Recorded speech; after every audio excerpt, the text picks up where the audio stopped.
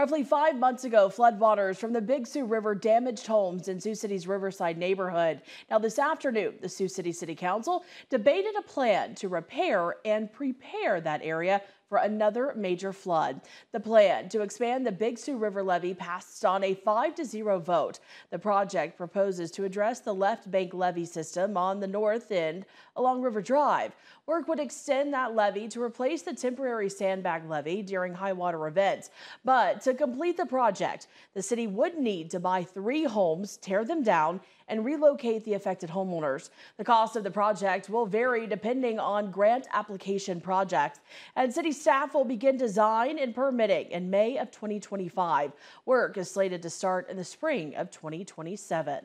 The council also passed the plans, contract, and estimated cost for an addition to Sioux City's Cone Park. The Cone Park Destination Patio Project would include concrete pavement, synthetic turf, and gas fire pits in the area. The project is fully funded through the Destination Iowa program grant. The project will cost just over $400,000. The public is invited to a hearing November 18th to learn more about that project.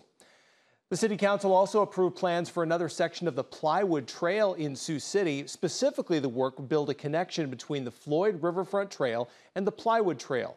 Contractors will also complete railroad crossing improvements and underpass canopy structure, as well as final grading and seeding.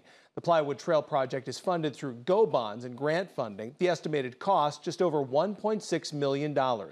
Work should be complete on this section of the trail in June of 2025. The Sioux City Police Department will receive new body cameras and other equipment thanks to a vote by the City Council. Back on September 9th, the city agreed to begin the negotiation process for the new equipment with Arizona-based company Axon. The Sioux City Police Department will receive new body-worn cameras, mobile audio-visual recorders, and interview rooms. Police Chief Rex Mueller says the equipment the department has right now has exceeded its lifespan and needs to be replaced. The total cost for that equipment is just a little more than $1.6 million.